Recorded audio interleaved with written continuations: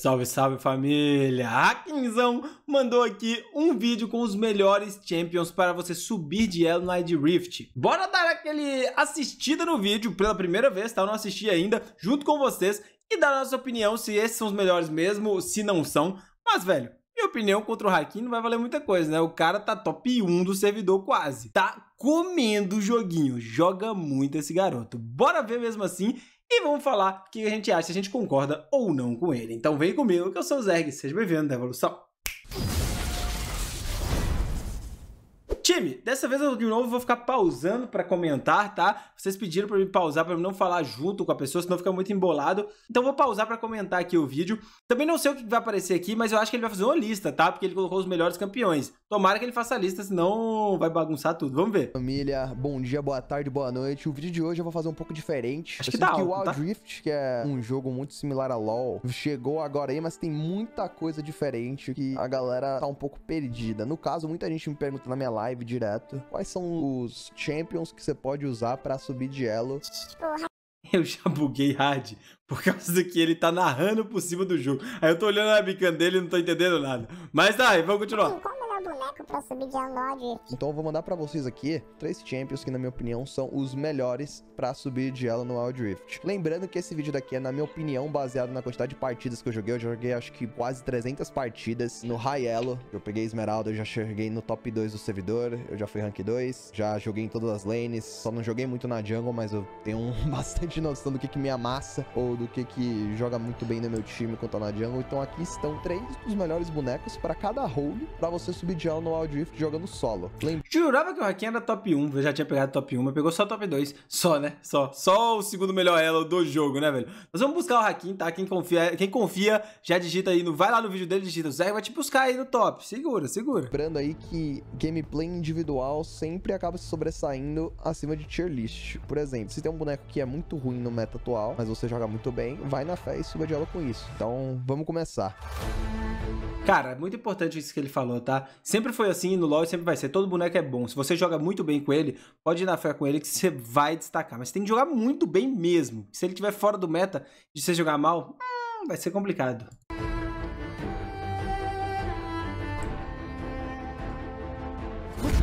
No caso da Baron Lane, a gente tem um leque muito versátil de campeões. Existem tanques, existem carries, existem bonecos splitando durante o jogo. Então, na minha opinião, os bonecos que realmente se sobressaem quando você tá jogando solo são aqueles que você tem capacidade de splitar e ao mesmo tempo se agrupar e ser aquele perigo, né? Enquanto seu time tá lutando, você pode chegar e simplesmente limpar uma teamfight. Esses três bonecos, na minha opinião, são Camille, Akali e Darius. Camille é muito forte na lane, ela Caraca, vão ser três em cada lane. Perfeito, velho. E os três que ele falou pra mim é ótimo. A Camille, a Kali Darius pra solo kill. Principalmente o Darius só pra solo kill. Agora que ele tomou buff, até entra em campeonato, mas...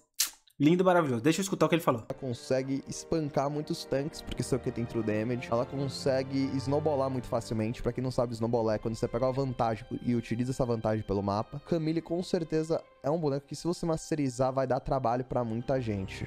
A Kali é o segundo campeão. Ela tem muita força de solar na side. Ela é muito fácil de solar os oponentes na side. Ela estabelece muita pressão. A grande maioria dos campeões que a galera usa na top lane, como Darius, Camille, Fiora, entre outros, a Kali simplesmente sola e amassa. E quando você tá splitando, é muito fácil você sair dos ganks dos inimigos. É só você ultar no inimigo pra ir pra longe. Você tem a fumacinha também pra desviar de skill shots. Então, no geral, a Kali tá sendo um boneco muito utilizado no Wild Rift. Especialmente porque parece que ela tem energia infinita comparada à Kali do 我 Por último, a gente tem o Darius. Darius que tem uma predominância muito forte. Quando você utiliza Darius no jogo, você consegue matar muita gente no level 1 por causa do sangramento. O jogador amador que não sabe muito o que o Champion faz, acaba tomando um no próprio level 1 e você acaba amassando ele ganhando a lane nisso. Muita gente se esquece também que o próprio Darius tem um sustain muito grande no seu Q e acaba sendo baitado por isso. É muito raro a galera fazer corta-cura contra Darius, sendo que é um item muito forte, no começo do jogo, especialmente no top. É um campeão no geral com um leque muito forte. E lembrando que como um Baron Lane, como um jogador no top, você vai querer splitar bastante sim. Você vai querer se agrupar com o seu time na hora do dragão de vez em quando. Às vezes você até give o dragão, você analisa sua composição, você give o dragão e continua pressionando. E isso é algo muito forte. Já tive vários jogos que eu tava jogando top, eu fui pro dragão, eu tava amassando o top lane inimigo. E em um push que eu acabei no dragão, o top lane inimigo de Camille, ou Akali, ou Darius, simplesmente amassou a minha torre, levou muito rápido e ganhou uma vantagem de mil de ouro em apenas uma wave.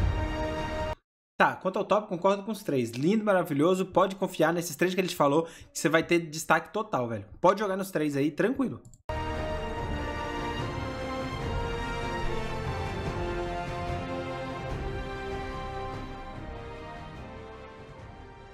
Bugou.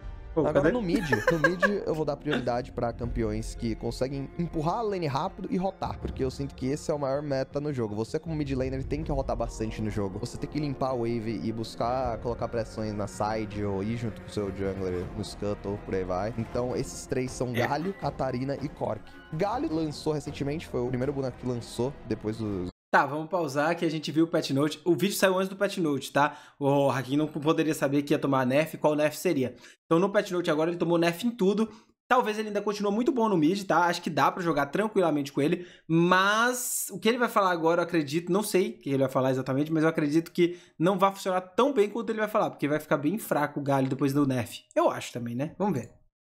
Originais que saíram no jogo. E ele é muito forte, cara. Ele tem um ultimate que consegue ter impacto global, A especialmente ultimate no é mid. igual. Consegue limpar o wave muito facilmente. Ele é muito tanque, ou seja, é muito difícil de matar ele no meio. E parece que o dano dele tá muito overtuned, ou seja, o dano dele tá muito, muito forte pro que ele era no LoL. Então, Galho, com certeza, é uma escolha fenomenal pro jogo. Catarina também é muito forte, especialmente nos elos mais baixos, porque raramente você vai ser counterado, raramente vai ter uma rapaziada que sabe jogar contra a Catarina. E assassino no geral, ranqueadas, sem comunicação, ele consegue acertar uns ganks muito facilmente no top e no bot, porque é muito raro o mid laner pingar Mia. Ou falar, olha, o mid laner não tá aparecendo na lane. É muito raro disso acontecer. Então você abusa bastante disso e consegue pegar umas kills muito facilmente no bot, no top ou até na própria jungle do inimigo.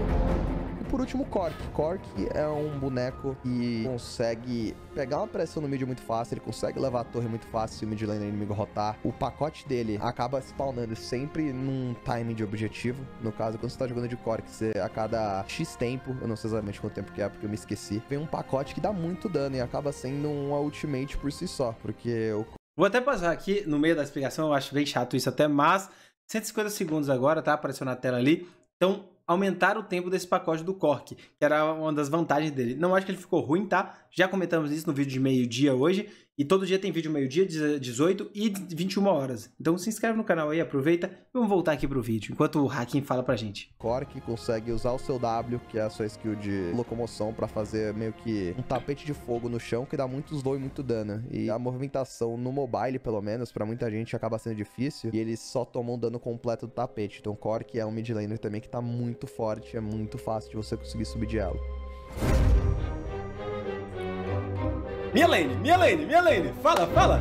Bora, Hakimzão! Na jungle, eu vou dar prioridade a campeões que não são muito tanque, mas campeões que têm um dano muito alto e conseguem realmente sobressair e limpar a jungle muito facilmente com um sustain bom. No caso, a Evelyn, Lee e o Wukong.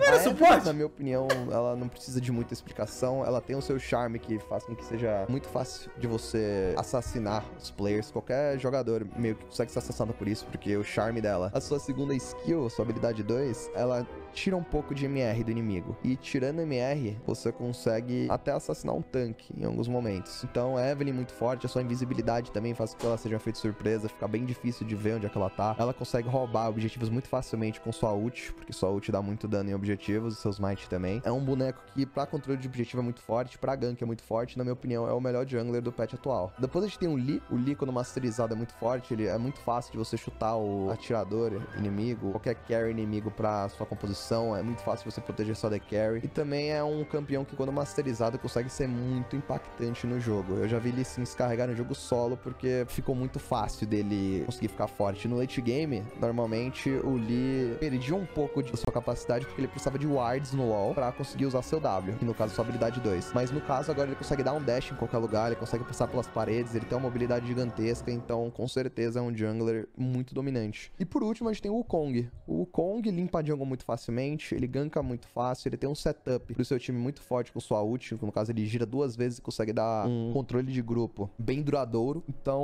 o Wukong tende a ser um campeão muito forte, porque ele não só vai assassinar o inimigo, como também ele vai dar um setup, dar um meio que uma capacidade da sua equipe ser muito mais versátil nas teamfights. Gosto, gosto de tudo que ele falou e eu concordo, tá? Eu concordo com os três que ele falou ali, muito bom, todos os três.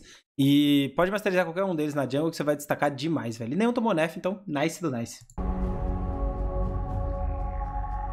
ADC, vamos ver agora o que, que vai rolar nos ADCs. De Dragon Lane, no caso atirador, eu decidi escolher Kai'Sa, Ezreal e Zaya. Por que, que esses três? Kai'Sa, ela consegue ser muito forte na lane e fora da lane, porque a sua pressão com o Q, no caso a habilidade 1, e o auto-ataque faz com que ela ganhe a grande maioria das trocas. Ela Cara, eu queria muito qualquer dia bater um papo com o Hakim. Eu não conheço ele pessoalmente, mas eu queria bater um papo com ele depois, porque ele pensa muito igual eu, velho. Toda a tier list dele é muito igual a minha, muito igual mesmo, velho. Você é louco. Ezekaista, eu nem, nem vi aqui que ele vai falar exatamente, mas são três ADCs que trabalham muito bem solo, principalmente o Ezeka e a Zaya. Agora, a Kai'Sa, você vai ver o quanto ela consegue ser móvel na teamfight, o quanto ela dá dano. Isso é muito interessante, velho. Eu gosto muito dos três ADCs, três que spikam muito forte. Vamos ver o que ele vai falar um campeão que quando a galera meio que deixa ela parada na teamfight, deixa ela livre na teamfight, ela consegue amassar os inimigos. O build path dela, que a galera tá fazendo, no caso de Rushaye, que é Infinite Edge, ou Gumo do Infinito, faz com que ela consiga ficar forte muito cedo no jogo e tá sendo uma favorita de muita gente. Ela tem muita movimentação, ela tem muita versatilidade, tem muito dano no começo de jogo e muito dano no final do jogo. Ela também é um Hyper Carry, que no caso é um atirador, e se sobressai no late game por causa do seu attack speed, por causa da sua passiva. Então Kai'Sa tá sendo sendo muito utilizada no Raelo e eu tô vendo muita gente subir spawando Kai'Sa. Ezreal, na minha opinião, também é muito forte, porque é um atirador que consegue se manter vivo muito facilmente nas lutas, não depende do time, ele consegue dar dano com seu Q em segurança. É um atirador que consegue ficar de longe batendo e não vai depender de suporte bom ou ruim, você vai poder realmente jogar sozinho o jogo. Eu recomendo bastante Ezreal também, porque muitas vezes você vai simplesmente matar a gente de todo lado do mapa com sua ultimate. Isso acontece bastante. Fiquem de olho no Ezreal, foi o boneco que eu usei para pegar top 2 do servidor. E é um boneco que eu pessoalmente gosto muito. E por último, Zaya. A Zaya, especialmente pareado com um suporte forte, consegue dominar a lane. Muito difícil de enxergar as plumas dela, as penas que ela deixa no chão no mobile. Às vezes a galera só ignora e você consegue pegar umas kills muito facilmente com sua habilidade 3, que é o puxão de penas. Ela é muito forte do começo ao fim do jogo. É um personagem que também consegue meio que jogar sozinho, porque ela tem a sua ultimate, faz com que ela fique praticamente vulnerável durante o período de tempo. E ela pega muita gente desprevenida, porque não tem muita gente jogando de Zaya. Caraca, velho, agora chegou o suporte de verdade. Quero ver se ele vai pensar igual eu no suporte, que é a minha main lane. Nos suportes, eu dou bastante Blitz prioridade não, né? aos suportes melee, suportes Blitz tank, não, né? suporte que tem um setup de engage, porque eles são muito, muito dominantes nesse jogo. O suporte de maguinho não tende a ser tão fácil de carregar. Eu, pessoalmente, jogo muito de Serafine, mas eu acho que ela não é o melhor suporte do patch atual. O patch atual, eu creio que os melhores suportes são Alistar, Brown e Galio. Por que Alistar, Brown e é Galio? É isso, Muitas é vezes nos elos mais baixos, a galera não vai ter uma forma de engajar. Eles vão ter medo de engajar, vão ter medo de jogar agressivamente com a Alistar você consegue ter um combo muito forte, você é tanque por muito tempo. A ultimate do Alistar parece que tá tancando muito mais, ele fica bastante tempo. Então a Alistar é um tanque muito forte, um suporte com engage muito forte, que eu acho que domina bastante no meta atual. Nesse mesmo pensamento, nós temos também o Brawl, e com apenas um auto-ataque é, e a passiva dele, ele consegue dominar o jogo, porque o que, que acontece? O Brawl, quando ele dá um auto-ataque, ele marca o oponente. Com quatro ataques de qualquer pessoa do seu time, essa pessoa vai tomar um stun. Isso para muitos campeões. Muitos campeões, Nossa. Você dando apenas um auto-ataque, você já ajudou na sua composição. Ele tem um escudo que protege só the carry, ele dá armadura em MR, ele tem mobilidade com sua segunda skill, e sua ultimate consegue controlar bastante uma teamfight. Então, Brown e Alistar realmente muito fortes nesse aspecto de controle, suporte de controle. E por último, temos aí de novo o Galio, que é um campeão, novamente, muito versátil. Ele é bem tanque, ele consegue proteger seu atirador bem, ele consegue controlar o mapa inteiro. Eu já vi muitos Galhos carregarem o jogo solo, então Galio tá aí também como um pique muito forte. Então, esse vídeo foi gravado antes do Patch Note, o Galho tomou muito nerf agora, até mesmo pra ser tanque, tá? Então talvez de suporte ele não entre muito bem. É, eu colocaria Jana no lugar do Galho, pra ficar bem fechadinho ali. Alistar, Brown e Jana. Eu tô treinando muito de Lulu, gosto bastante dela, mas eu tô com a Jana e eu tô com a Jana como um suporte até melhor que a Lulu por causa do range. Vamos ver o finalzinho do vídeo ainda? Vamos ver. Então aí tá minha tier list, 15 campeões, no caso 14, se contar o Galho, que eu selecionei duas vezes, pra você subir de elo. Fala aí nos comentários o que você achou, se você concorda, se discorda, o que é que você tá usando, ou o que é que você acha melhor pra subir de elo. E é isso. Deixei um comentáriozinho aqui, ó. 90% parecido com a minha. Trocaria o galho sub pela Jana agora pós o patch note, tá? Já deixei o um comentário lá. Se vocês puderem, cola lá também, tá? Já deixa aquele likezão no meu comentário lá também. E fala, Hakim, faz um bate-papo com o Zerg aí. Vamos trazer um vídeo no canal aí, um bate-papo com o Zerg. Pede um bate-papo com o Hakim lá. Vamos tentar a gente discutir sobre esses campeões melhores aí. Que eu queria muito poder conversar com ele e ver a visão dele, velho. Ah, e na hora do suporte bugou mesmo lá. Era pra ser jungle, apareceu o suporte. Por isso que eu fiquei perdido no meio do vídeo. Mas o vídeo tá ótimo, né? Valeu demais, Hakim. Valeu, Borba. Adorei. O link do vídeo dele completo vai estar tá na descrição pra vocês poderem lá assistir também. Não esquece de pedir o Hakim lá no comentário lá pra ele bater um papo com a gente, fazer um podcastzinho ou só uma tier list juntas aí pra gente discutir um pouquinho sobre os campeões do Odd Rift, o meta, como é que tá, que hora que ele vai vir virar pro player aqui, entrar pro competitivo que a gente quer jogar com o Haki. Eu vou ficando por aqui, um beijo pra vocês, até a próxima e comenta aí se vocês concordam com toda essa tier list. Falou, fui!